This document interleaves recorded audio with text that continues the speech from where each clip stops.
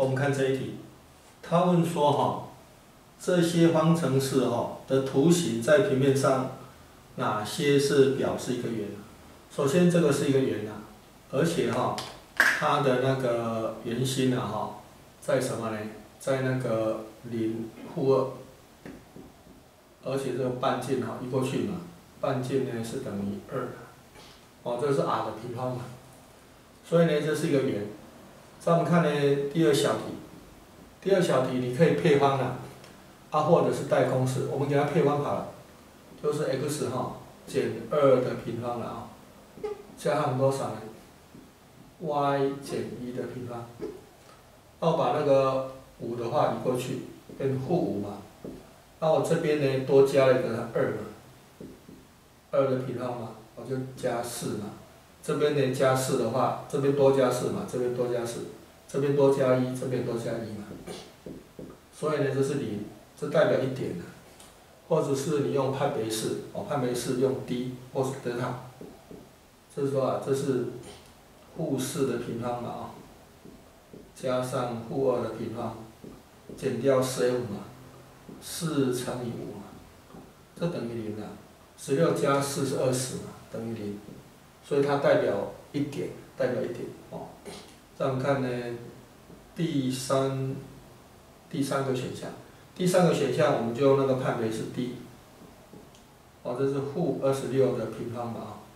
哎，不过哈，你看这个的话呢，这 f 是负的话，哎，它一定是一个点哦。判别式的话，平方嘛，加上呢负十一的平方嘛，它减了多少？负的二零一九。那这一定平方嘛？这一定平方嘛？那减掉一个负数的话，哎，这个一定是正的，这个一定是正的嘛？你减掉一个负的话，它一定是正的，这一定是大于零，所以它也是代表一个圆，哦，这代表一点，不是一个圆。那我们看看呢，第四个，第四个哈，你要把它化成呢，那个一般式了，哦，这一般式的话，这个系数的话是一嘛，就 x 平方加 y 平方哈，减 x 嘛。加上二分之三，y 减掉多少？减掉二，等于零。好了，判别式 d 就是多少呢？负一的平方嘛，加上二分之三的平方嘛。哦，哦啊，这个负的话，它一定正嘛，减掉多少呢？四负二嘛，它一定是大于零的，所以这个也是一个圆。哦，第四个也是一个圆。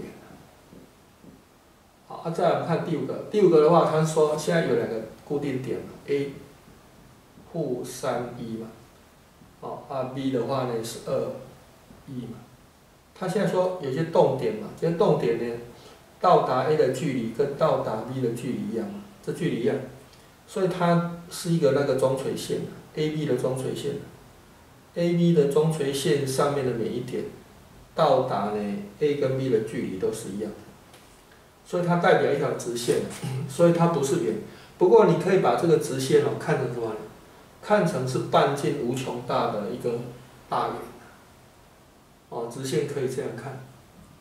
哦，所以呢，它的比率哈，只要不是一比一的话，它就会是一个圆。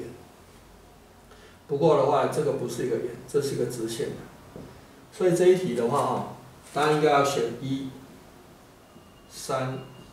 他跟四